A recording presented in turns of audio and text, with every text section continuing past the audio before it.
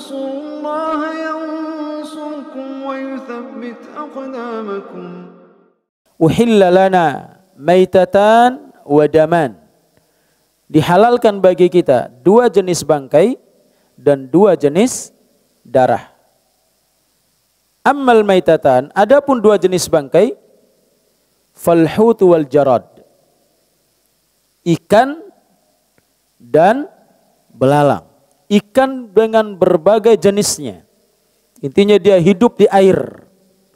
Dia hidup di air. Maka ikan di laut halal dimakan apa pun. Makanya termasuk apa? Penyu. Apalagi? Hah? Buaya.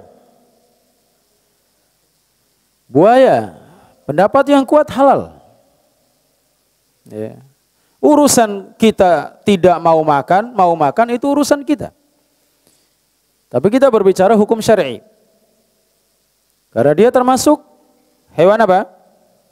Hewan air. Oh dia hidup di dua darat? Enggak, enggak ada. Di pendapat yang mengatakan hewan yang hidup di dua alam itu marjuh. Kita harus lihat dia dominannya di mana.